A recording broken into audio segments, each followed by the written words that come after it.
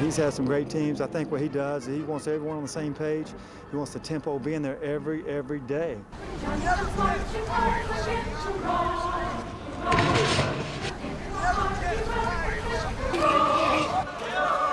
I like him. I like him here. I, am excited with his, his energy, his attitude. Uh, it'll translate into some some big wins for us.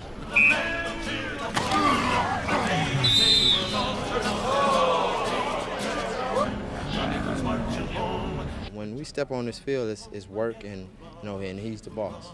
Let's go! Let's go!